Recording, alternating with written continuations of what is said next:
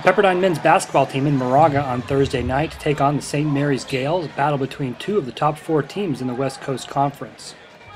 The Waves' only lead came at 3 2 off this nice pass from Malcolm Brooks to Brendan Lane, but the Waves will be battling from behind the rest of the night.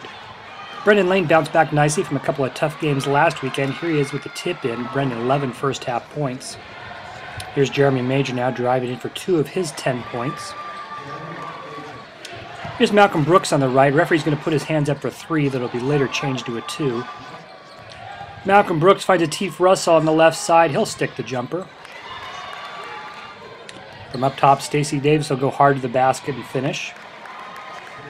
Waves trailed by as many as 11 in the first half, but they battled back. Here's Lamond Murray Jr. on the putback late in the half. Waves would only trail 40-35 at the break.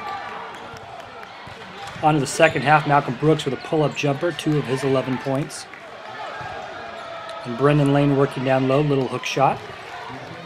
Lane would finish with a team high 18 points. This basket would start an 11-2 run, pulling the Waves within one point.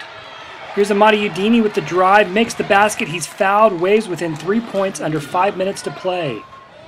Waves couldn't keep the St. Mary's off the free throw line, however. Gaels never relinquished the lead in the second half. Austin Mills driving in two of his career high tying 10 points. However, St. Mary's wins this one 80 to 74.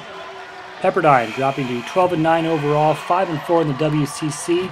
They'll look to bounce back on Saturday at Pacific.